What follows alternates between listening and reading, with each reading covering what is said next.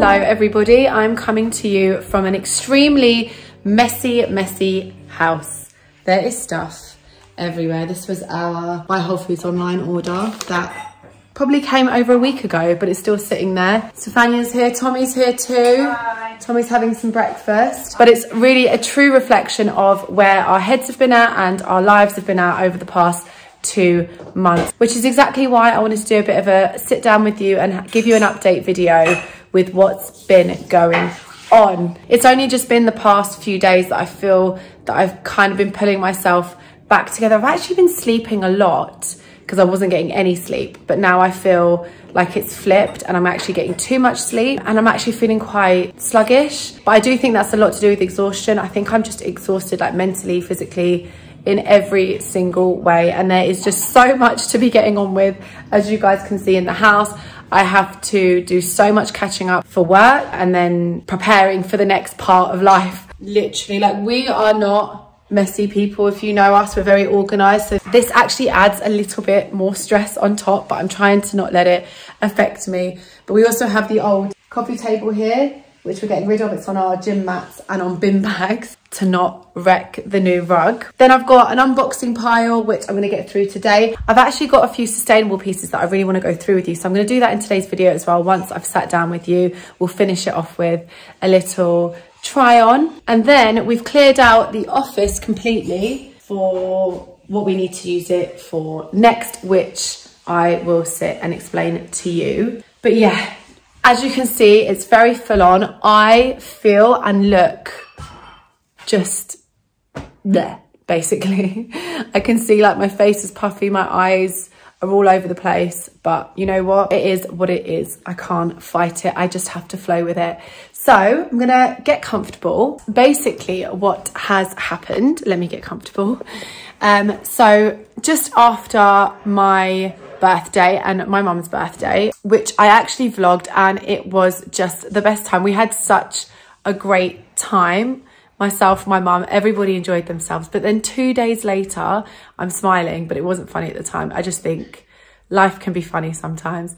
But two days later, we go to my mum's to pick her up to go out for the day and find her at the bottom of her stairs in a very, very, very bad way. She'd basically fallen down the stairs and had been lying there for about 12 hours because she couldn't reach her phone. Thank God that we were coming to pick her up. So it was really early. It was like 7.30 in the morning and that's how we found her. So you can imagine the absolute shock when we walked in the door. Um, obviously at the time we didn't know what exactly had happened and we didn't know her, the state of her injuries or anything. But because of what we could work out, and the fact that she couldn't get up. Once the ambulance came, they um, strapped her up, you know, neck, everything, and then carried her into the ambulance, took her to the hospital. It was just so distressing because they were with her in her house on the floor for two hours before they moved her into the ambulance. And I think that's got to do with like COVID and they have to assess her and put everything through like a computer now before they take you to hospital, which was freaking me out, if I'm honest with you, because I just wanted her to get to the hospital to make sure she was okay. And then obviously after that, I can't really remember much of that day or that week for that matter. The communication wasn't the best from the hospital, which was just another stress on top of everything else. I really had to sort of fight to get any information. But basically the injury that she sustained from the fall was that she shattered her thigh bone, on her left thigh bone, so into pieces basically. And obviously would need an operation. And that operation got delayed for nearly six days, I think five, six days because of uh, COVID in the hospital. They needed to test her several times.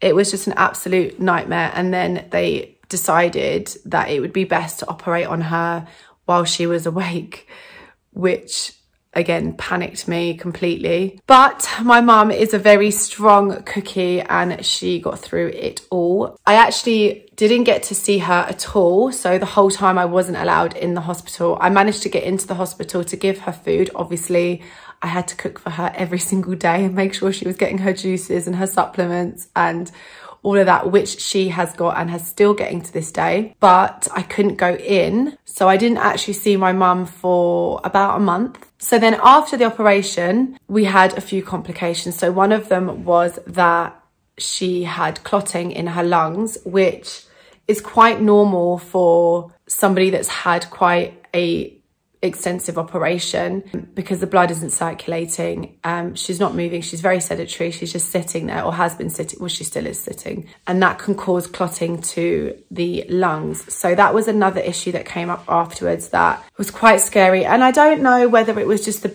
breakdown of communication from the doctors that they just weren't very good or I don't know, they like to be dramatic. I don't know. There were several times throughout the experience where it didn't look good. Let me just put it that way. But I just made sure to keep on top of the hospital and I just kept that communication going. Anyway, they immediately treated her for the clots and she's still on that medication until her next scan. But she has now left that hospital, or she left that hospital about two weeks ago, and she's now in a rehab hospital, which is a lot closer to home, where she is currently staying, but she is non-weight bearing, so she's not allowed to put any weight on that leg at all, at all. And we thought that was coming to an end this week, but she went for a scan on her leg and it's healing a little bit slower. So she's now non-weight bearing for another month, meaning she cannot put any weight whatsoever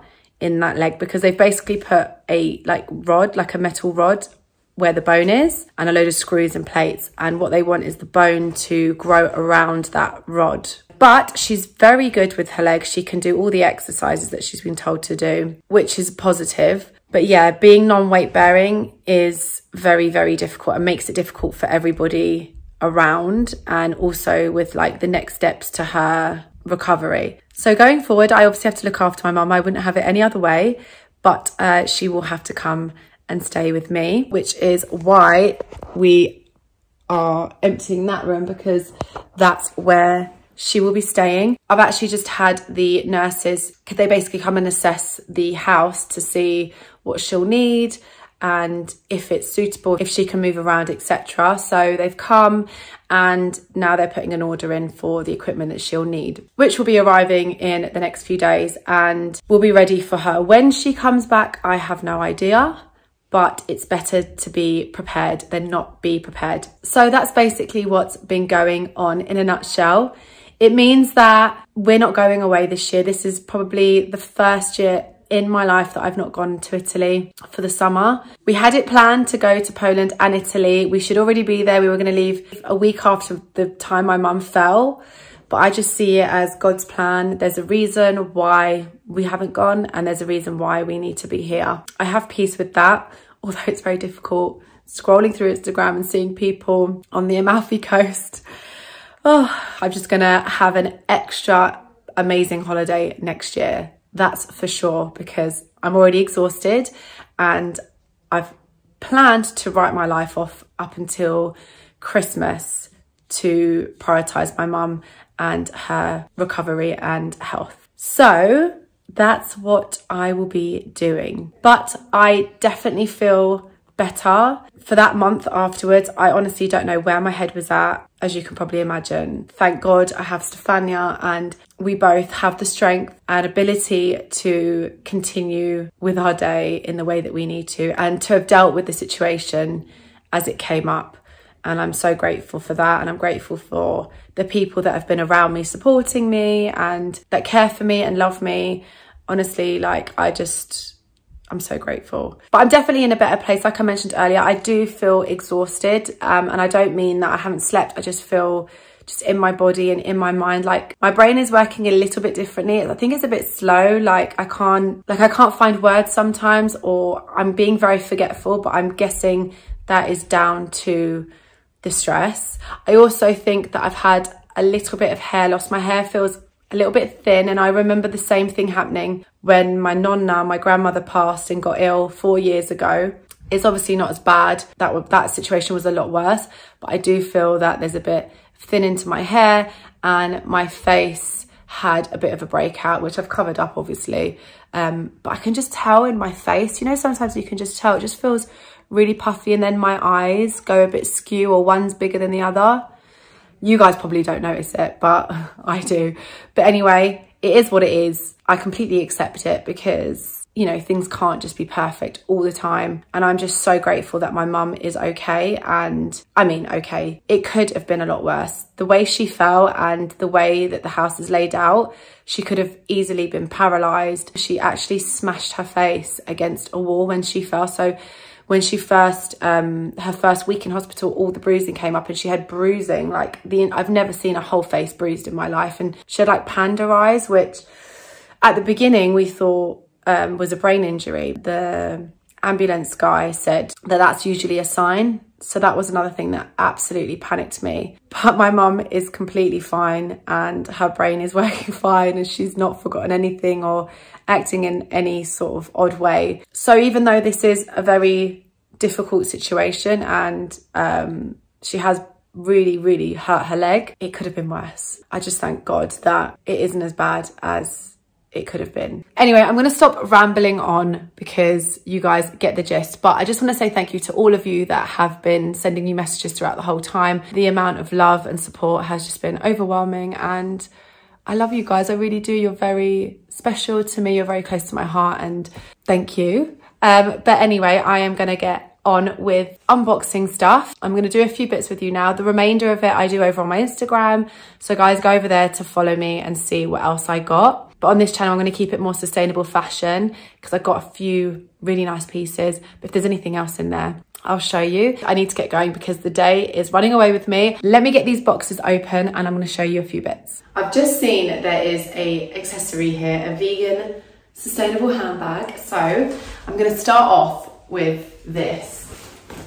It is from a brand called Fenella Smith, London. And you can see the bag comes in this bright yellow dust bag. These colours don't really match, but the bag standing alone is this beautiful red, like, it looks a bit lighter on camera, but it is definitely like a rich red, like bloody red tone. You've got the uh, branding in gold there, it's very simple. Oh my God, the feeling like I just I don't know why I just expect them to feel quite plasticky and rigid but this is so soft it's so buttery. All of the bags are so colourful and my go-to is always neutral colours like blacks and beiges but I just thought with this brand going with their vibe I would pick out a bold colour. So I thought a nice red bag is something that I need to add to my collection although my vegan handbag collection is very small, but I'm working on it. And I have seen some bags that I want in blacks and beiges and stuff like that. So this is definitely the color I was gonna go for. I obviously wouldn't wear it with what I'm wearing now, but in the summer I wear a lot of white. So I thought this would just be a lovely pop of color with those outfits. It's a nice size. It's a bit bigger than I would usually wear. You can see there is a lot of space in there. And then you have like a zip closure in the middle. And you've also got one here as well, so you can put all your valuables. And then you've got two like pockets here for like phones and stuff like that. So it's a really practical bag. It also comes in like a black sort of croc effect and green. I seriously cannot get over the quality, like how soft this is. They have so many bags. They have bucket bags and purses, all very colourful. So if you want to add a bit of colour into your life, then definitely check them out. I have a few bits here from Colourful Standard, so I'm gonna get them on and show you. So I got this two-piece loungewear set from Colourful Standard, and I've got this whole set in white, and I absolutely love it, but I'm very aware that winter is around the corner, as you can see. And with the white one, you know, it can get dirty. It's not something you want to really wear too much in the rain. So I thought I'd go for a darker color. If you know about Colourful Standard, you'll know that they just do the same thing in many colors, which is a dream of mine because when I find something I like, I just want it repeated in colors. So this is like a, it's like a washed out brown. I think it's color taupe. I'm not sure, but I'll double check and I'll link it below. But these are the high-waisted joggers and I've got them on in a small and you can see um, there's room in them. And then there's the long sleeve crew neck, which I have on in a medium. I'm now wondering if I should maybe try the small. I have tucked it in, as you can see, but I might just try the small to see. But I will definitely be getting these in many other colors. There's like a greeny blue, like a washed out greeny blue color I love just waiting for it to come into stock. But I've just popped this on with my Privato trainers that I live in. And yeah, this is so comfortable and perfect for this sort of weather that we have going on in the UK. Could throw a jacket over it and just be very comfortable and also feel quite put together. I also picked up these shorts. Um, this is new in in the colourful standard range. They're their high-waisted shorts. I can't remember the exact name, but I'll link them below for you. And I picked them up in this lovely lilac colour, but it's not coming through on the camera for some reason. They look a little bit grey, but they are like a soft, beautiful lilac, which I thought would just look so lovely with a tan when I eventually get one. I got this in a medium, and I think I may need to try the small because that's the most I can tie it without this all bunching together. I just got the medium thinking I needed a bit more space for like my thighs and my bum because they're bigger. But I think the style of this short is like that anyway. So I think this part would probably stay quite similar to the medium. It's just the waist, like you can see that I have a lot of space and I will definitely be getting a few more colors. I want something like quite bright, I think. I'll get a nice bright fuchsia pink or something like that. The thing I wanted to show you was this from Chelsea Peers as part of their Wellness Project um, Sustainable Pyjama range. Going on with the lilac theme, it's a beautiful lilac coloured silk feeling um, palm tree kimono. I think that this is a bit too small for me. I'm not gonna turn around because you will see my bottom, but maybe it's meant to be this short, I'm not sure. I got this in a small, I think. So this would definitely need to size up. But it's a beautiful color. Again, if I had a tan, I think it would really pop. It's got lovely kimono sleeves and it's got this gorgeous like fuchsia pink piping along the lapels and the cuffs. It's a very, very lovely kimono. They do so many different styles and patterns and colors. You'll have to take a look for yourself, but I'll link this one below. It's lovely quality. It feels lovely on the skin and another one for holiday. A holiday that I'm not going on. I'm gonna have to create a holiday vibe at home somehow. I'm not sure, but this will definitely help. Truly makes me so happy to find so many great brands that are sustainable and producing really good quality pieces. It really just makes me so happy because for a long time I've been getting really fed up with fast fashion and the brands that we that are only available to us on the high street. I remember there being a period where I really struggled to even shop. I didn't know what to buy because I was, you know, in between. So these brands have really helped with it. And that's the reason I share it with you guys because I found it so hard to find brands. And obviously I've done my research and I'm in contact with a lot of brands. So I really want to show them to you and share them through my platforms and hopefully you guys start shopping there or already do. And I absolutely love doing these videos. So guys, let me know if you enjoy these sort of trial videos um, of me just unboxing what I've bought and then showing you, or if you kind of prefer